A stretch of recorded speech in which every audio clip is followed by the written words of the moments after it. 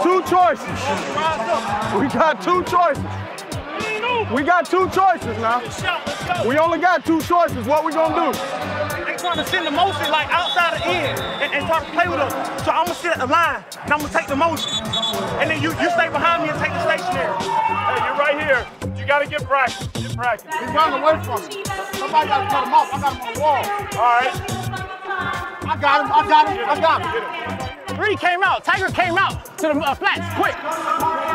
So we playing stationary. I got him. Come on, come on. I know it hurt. And the, the league watching us right now. They gotta see us, dog. They gotta see us. Hey, you get the wind knocked out of you, man? Uh, Rib? rear. Rib? Rear, yeah. The right side? Yeah. Okay, just relax, just relax, man. Take a knee right there, man.